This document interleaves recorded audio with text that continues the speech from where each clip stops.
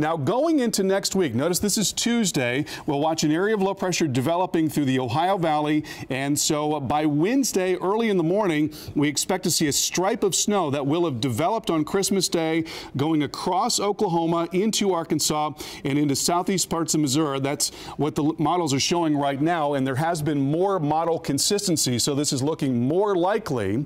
Then on Wednesday, we watch that area of snow come up through parts of Illinois and into Indiana. And on Thursday, a secondary low is going to develop. That then moving up into the northeast. We don't know exactly where it's going to go, but we do think there's a good chance that there will be heavier snow across interior parts of the northeast, probably north and west of 95, with a lot of wind on top of that. Again, that's going to be on Thursday. So all in all, looks like a pretty active week for winter weather.